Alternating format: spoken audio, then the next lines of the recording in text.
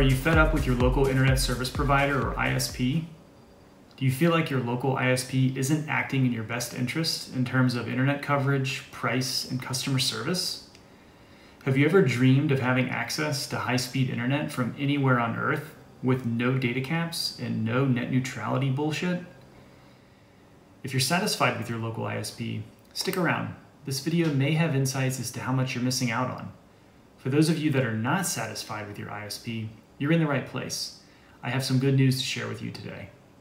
This video includes stories of monopolies, rockets, greed, poor policy making, a billionaire, ambitious goals, and hype that's attracted millions to join a beta program. So let's get into it. Just a quick note to those that are visiting my channel for the first time, welcome. You should know that around here we welcome all feedback and comments. My goal here is to build a community around this channel to share ideas to help each other out. I'll see you in the comment section below. To my subscribers, I really appreciate the support and I thoroughly enjoy conversing with you. For the past few years, my local internet service provider, Spectrum, has been charging me $79 a month for 200 megabytes per second download, just internet, no cable, no landline. Spectrum and a smaller regional ISP, Cincinnati Bell, have had a stranglehold on the greater Cincinnati area. It always seems like they're trying to beat each other to the bottom. Poor customer service, price hikes, antiquated hardware, and 1990s styled user interfaces. I mean, come on. And don't even get me started on Cincinnati Bell's fiber optic cable pipe dreams. It appears to me that our regional cable monopolies think that their customers simply want faster horses, when in reality, we want competition, which drives innovation which leads to better outcomes for consumers. It's very simple. Listen, this ISP issue has boiled over the top, and we're literally looking to space to solve the issue. Forget about burying fiber optic cable in the ground. Let me introduce you to Starlink. Starlink is a satellite internet constellation operated by SpaceX, providing satellite internet access to most of Earth. Starlink is the modern approach to high speed internet. And of course, who else did we expect to disrupt the internet landscape all across the globe other than Elon Musk himself? Forget the regional ISPs, Starlink is global.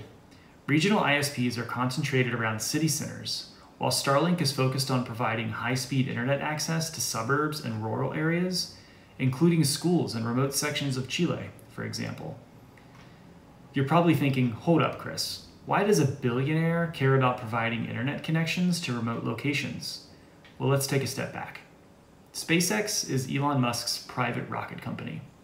SpaceX's mission is to make life multiplanetary.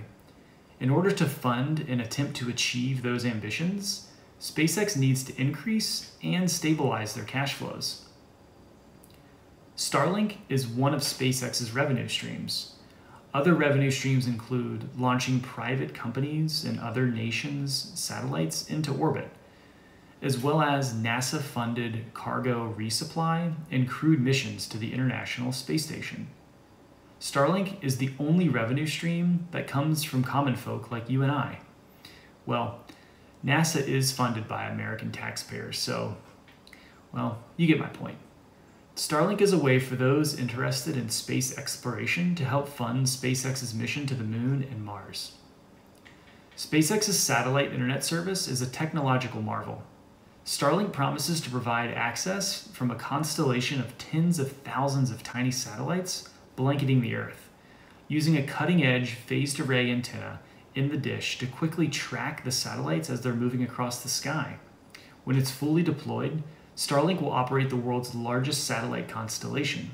The satellites are also programmed to deorbit at the end of their useful life in order to prevent space junk. Starlink is ideally suited for areas of the globe where connectivity has typically been a challenge. Unbounded by traditional ground infrastructure, think of Cincinnati Bell's fiber optic cables buried in the ground, Starlink can deliver high speed broadband internet to locations where access has been reliable or completely unavailable. Starlink became available in the northern Kentucky and greater Cincinnati area on February 8, 2021. I placed my order right away. I couldn't resist. My Starlink hardware kit arrived 20 days later on February 28th, and due to the record snowfall that year, The first opportunity I had to install the dish on my roof was March 14th. More on the installation of the Starlink kit later in the video. Once I confirmed Starlink could provide consistent speeds over 150 megabytes per second, I canceled my Spectrum internet service. Starlink is a lot of very bold engineering advancements packaged up for a one time payment of $500 and a monthly subscription of $99. Starlink is now delivering initial beta service both domestically and internationally, and will continue expansion to near global coverage of the populated world in 2021. During the beta program, you can expect to see data speeds vary from 50 megabytes per second all the way up to 250 megabytes per second, and latency from 20 milliseconds to 40 milliseconds in most locations over the next several months as SpaceX enhances the Starlink program. There will also be brief periods of no connectivity at all. On average, I've had to reset my router once a month due to connectivity issues. Simply disconnect and reconnect the power supply to reset the system. This has always solved my connection issues within 5 to 10 minutes. As SpaceX continues to launch more satellites, install more ground stations, and improve their networking software, the data speed and latency will improve dramatically. Now, I can't mention Elon without sharing his public and very ambitious Starlink goal of 1 gigabyte per second download speeds. Starlink has a ways to go before getting to 1 gig down, but hey, at least Starlink is aiming for the stars here. Spectrum always seems to be staring down at the ground.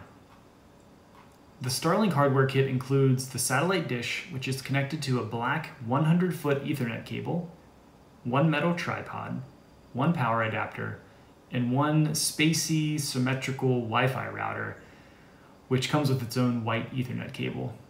If you thought IKEA's pictogram instructions were simple, take a look at Starlink's setup guide. Starlink's setup is incredibly simple.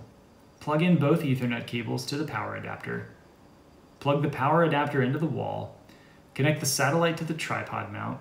Mount the tripod to your roof or wherever you have a clear view of the sky, and you're done. Don't worry about fumbling around with pointing the dish in the right direction. There are motors that rotate and tilt the dish to align it automatically.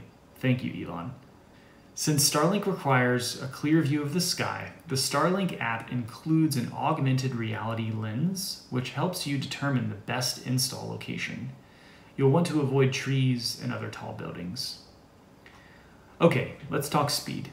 But first, a few comments on what internet speed is.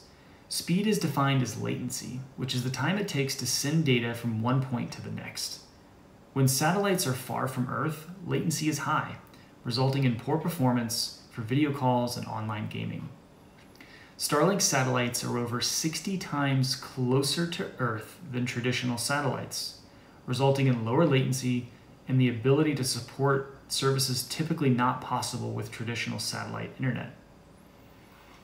All right, so I've used Starlink every day since installing the kit in March 2021 and as my primary service provider since April of 2021.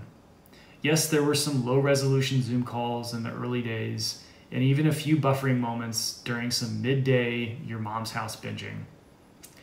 Don't act like you didn't watch. So, what are you waiting for? Starlink.com can determine whether your address is within the beta boundaries, and if so, follow the site's instructions to purchase your hardware kit right away.